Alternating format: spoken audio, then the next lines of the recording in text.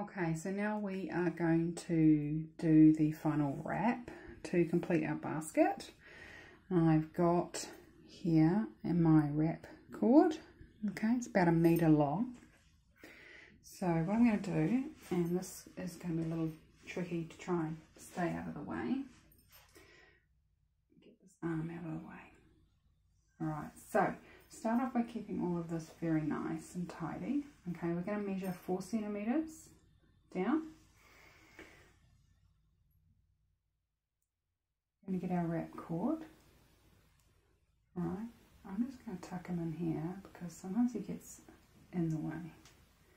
Okay, here's the rest of it here. I'm going to make a loop and hold that by my thumb. Okay, thumbs are very important here. So what we're going to do now, take it around the back,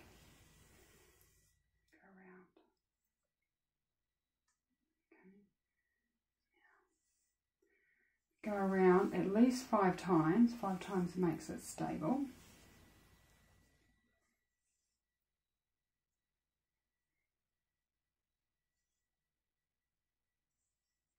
Okay, I do like a longer wrap, but we never go past our loop.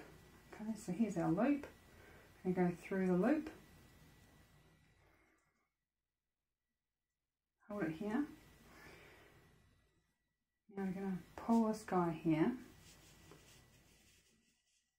Okay, just make sure that last one's tight. Now, that knot there, we want them to sit about here when we pull this up, okay? So I'm going to hold my thumb.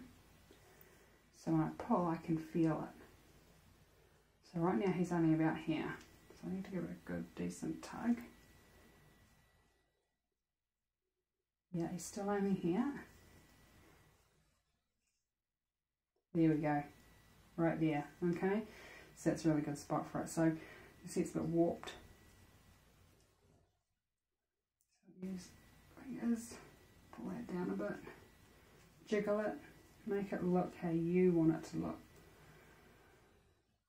Alright, and once you're happy, take your scissors. Okay. I use the point just to stuff that down in there. Okay.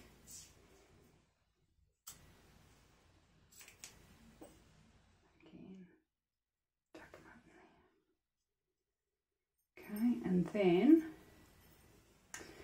now got all this cord here. Okay, I'm going to measure about this far down, hold that, and go snip. Good sharp scissors are awesome, blunt ones are not so. Okay. Right. So I've got my pot I'm using today.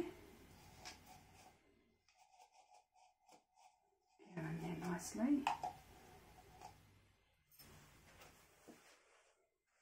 Okay, and mm, he'll sit quite nice in there.